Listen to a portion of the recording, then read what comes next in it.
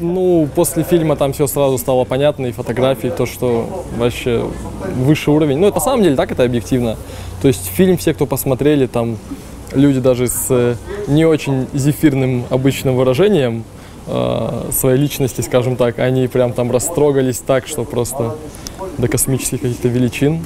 Да, и, конечно, подружки мои все плакали после видео, хотя, а, казалось бы, мы сделали его не ванильно таким, да, Да, там, не слишком не слезливым слишком каким-то. слезливым, да, и просто были в кадре, да, просто как обычно мы живем. Да. А в итоге это тронуло сердца да. людей. Ну и качество съемки, там, Качество есть съемки, конечно. экспозиция, вот это да, вот все очень это профессиональное. на уровне. Вот, фотографии тоже, да, буквально Да. через день, через два нам уже отдали. Да, да. И, По скорости, да, все тоже очень быстро. и из такого количества кадров все прошло легко и незаметно. Мне очень понравилось, что не приходилось позировать как-то, вы знаете, э, допустим, встань так, повернись так. То есть мы просто жили в кадре, и фотограф и видеограф делали свою работу.